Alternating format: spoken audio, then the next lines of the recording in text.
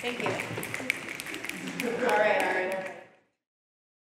Children, I come back today to tell you a story of a long, dark way that I had to climb, that I had to know, in order that the race might live and grow.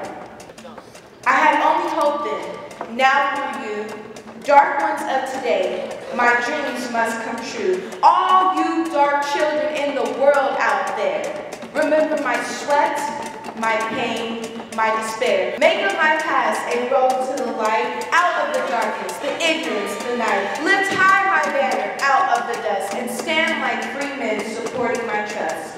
Believe in the right, let none push you back. Remember the whip and the slavish trap. Remember the strong and struggle and strife still bar you the way and deny you life. But march ever forward, breaking down bars. Look ever upward at the sun, moon, and stars. Oh, my dark children, may my dreams and my prayers impel you forever up the great stairs. For I will be with you till no white brother dares to keep down the dream of the Negro mother.